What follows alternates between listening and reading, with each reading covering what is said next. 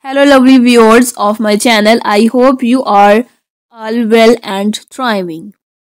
Here we are with the latest news about the artist Gökberk along with a pleasant surprise and a new photo shoot.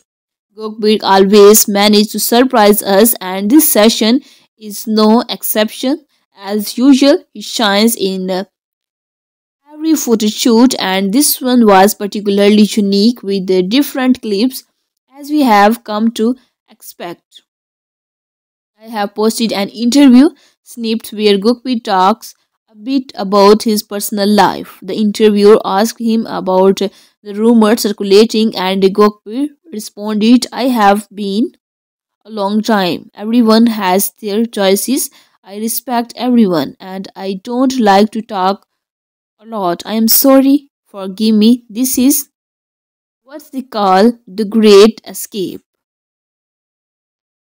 Moving on to the rest of the interview, the announcer asked him about the rumor involving him and Shira. To which Gökberk replied, What are you saying? It never happened like that. I don't even want to talk about it. He made it clear that he does not want to discuss anything related to his personal life.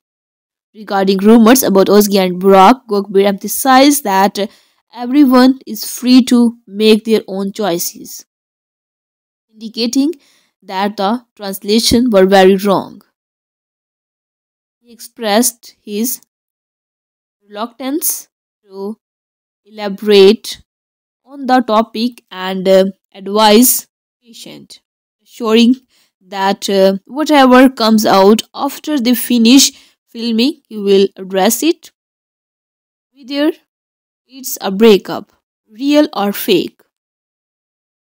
In positive news, Gökberk Demirci was named the best male actor of the year, with the character Kautil Koksal winning the award for the best character and scene. We wish him all the best success and um, even greater achievements this concludes a brief update and I want to share with you. Goodbye.